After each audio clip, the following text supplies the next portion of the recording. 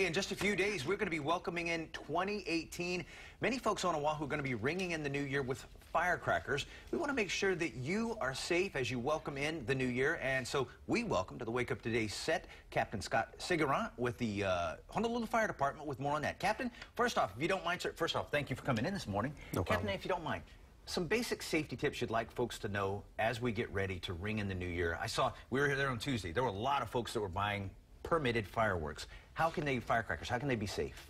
Okay, well, we want them to never drape firecrackers over power lines.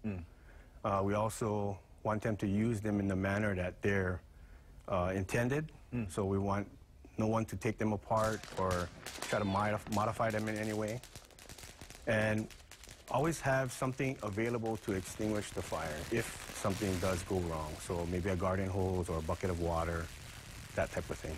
I was going to say, even when you do the legally permitted, even when they fire off, it's possible there's still a heat source going there, you know, uh, that could cause some problems. Absolutely. So even legally obtained firecrackers can cause problems. So we want everybody to be safe.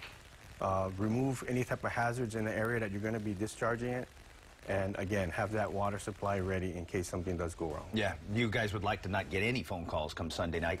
Uh, Captain, let me ask you this. When you go into a number of the different stores, whether it be the pharmacies, things like that, I see a lot of novelty fireworks. Are those dangerous or are those safe for everyone to use? Those can be dangerous also. So at any time those things are in use, please have uh, proper adult supervision. Make sure that it's being used in the intended way. Yeah, I think that's the important thing you guys wanted to say. Is whatever the instructions are for that that that uh, novelty item or whatever it is, read them and use them that way.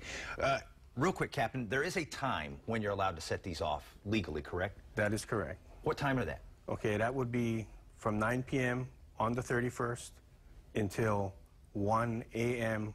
on January 1st. Okay, so you got that four-hour window to do that legally. Correct. And again, uh, I think the important thing that we take from this is read the instructions and use them properly. No sort of ad-libbing on this. And safety is, is, is of utmost importance. Absolutely, safety. Captain, thank you very much. We Thank appreciate you. you being in studio here with us and letting us know about that.